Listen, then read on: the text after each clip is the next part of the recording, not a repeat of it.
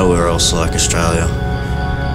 Some of the areas that we do go into, being so remote, it's key to be always be mindful of where you are um, to, and to still have that respect.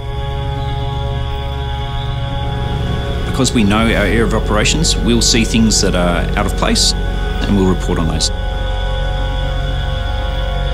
The army is like a second family. It gives you all those things you need to go out and do your job. Gives you life skills. You make friendships that you never would anywhere else.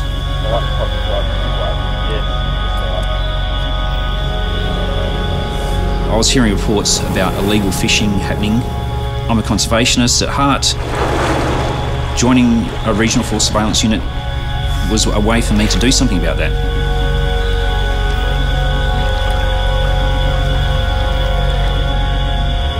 One thing I was mainly surprised about was the sheer vastness of Australia, and I didn't realise that we'd go as far and do a lot of the things that we do. It's nice to go on the adventures and interact with the other communities. My wife actually grew up in the Pilbara, and she's quite proud that I'm defending the land that she loves. I've got two young daughters.